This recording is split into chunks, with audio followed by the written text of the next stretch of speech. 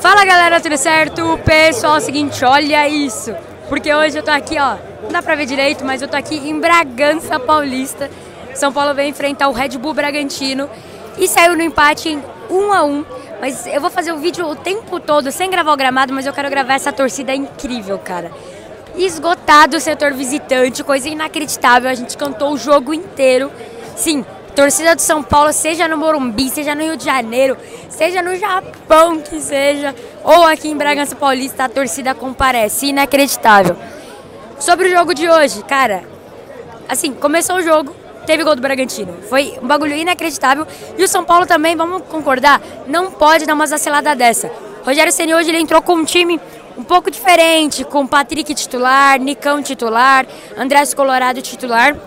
E no primeiro tempo, o São Paulo tomou gol logo no início e vai durante o jogo, em algumas oportunidades, criando chances de gol, tentando fazer gol. No primeiro tempo, o Caleri teve uma chance muito boa, que ele conseguiu dominar sozinho a bola na área, mas ele acabou chutando, a bola quicou no chão e infelizmente a bola não foi pro gol, ficou fácil pro goleiro pegar.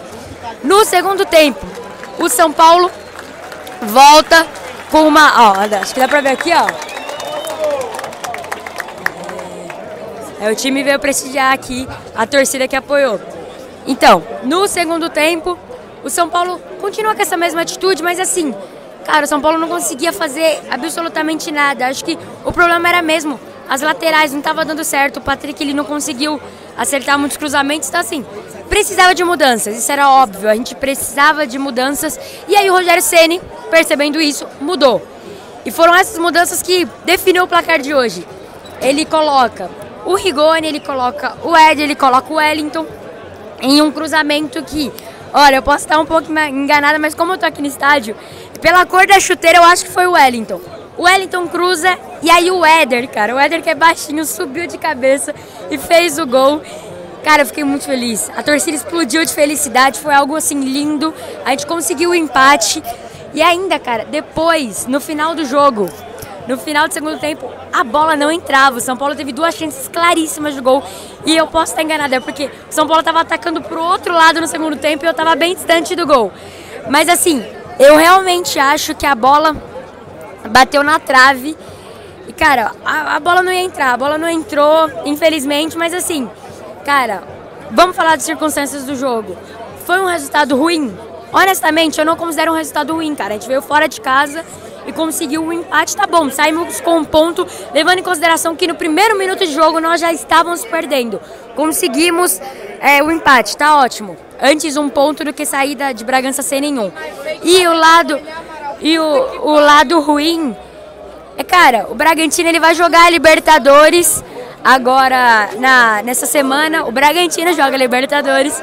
Então eles estavam meio que poupando alguns jogadores dessa vez eles pouparam alguns jogadores, então assim, vamos lá.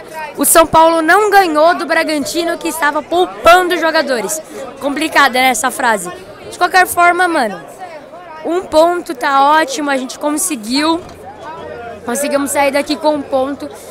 E cara, além disso, é, agora é focar na Sul-Americana. Essa semana tem Sul-Americana. Então vamos, vamos pensar nisso e focar na Sul-Americana.